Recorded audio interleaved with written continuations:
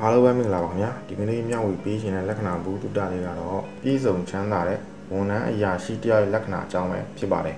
သူရဲ့လက္ခဏာမှာအချက်၃ချက်ကိုကြည့်ပြီးပြောနိုင်ပါတယ်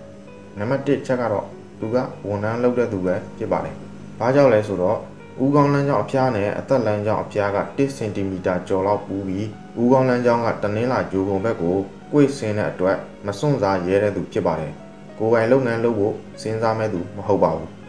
နံပါတ်2ချက်ကတော့ဝန်ထမ်းအဆင့်မှာအရာရှိအဆင့်ဖြစ်ပါတယ်။ဘာကြောင့်လဲဆိုတော့လက်ဘွားရှိလက်ချောင်းတူတဲ့တီဇောလက်ဘွားအမျိုးအစားဖြစ်တဲ့အတွက်အလုတ်လုတ်တဲ့နေရာမှာဆေးဆက်သေးကြပြီးဒူးကျွန်းထက်မြက်ပါတယ်။လက်ညူလက်ချောင်းထိပ်မှာခရီးပတ်ပွေရှိပါတယ်။ ဒါကသူတစ်ပါးကိုစေခိုင်းနိုင်တဲ့အမှတ်သင်္ကေတဖြစ်ပါတယ်။ပြီးရင်ဆရာဖြစ်ဆော်လမွန်လက်စွပ်ရှိပါတယ်။ရေပန်းချက်လမ်းကြောင်းကလည်းကြာသာပလေးအောက်ခြေထိကိုထောင်တက်နေပါတယ်။အားလုံးကိုခြုံငုံပြီးသုံးသပ်ရမယ်ဆိုရင်တော့ဝန်ထမ်းတွေထဲကမှသူတစ်ပါးကိုညွန်ကြားစေခိုင်းရတဲ့အရာရှိစင်ဖြစ်နိုင်ပါတယ်။နံပါတ်3ချက်ကတော့ငွေကြေးဥစ္စာချမ်းသာပြည့်စုံတဲ့သူပဲဖြစ်ပါတယ်။ ဘာကြောင့်လဲဆိုတော့လက်မဒုတိယအဆင့်မှာစပားစိရှိနေပါတယ်။ဒါကစာနာရိတ်ခါပေါ်များခြင်းပစ္စည်းဥစ္စာပေါ်ကျွယ်ဝခြင်းနဲ့ပိုဇာတာကောင်းမွန်ခြင်းကိုပြပါတယ်။ပြီးရင်လက်ဘွားအလေက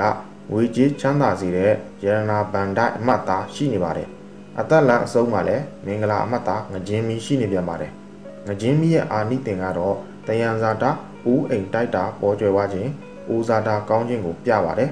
အားလုံးခြုံငုံပြီးသုံးသပ်ရမယ်ဆိုရင်လက္ခဏာရှင်ကငွေကြေးချမ်းသာပြည့်စုံတဲ့ဝန်ထမ်းအရာရှိကြီးတူဖြစ်မှာကတော့အသေးကြပဲဖြစ်ပါတယ်အားလုံးလက္ခဏာဘုဒ္ဓရရှိကြပါစေ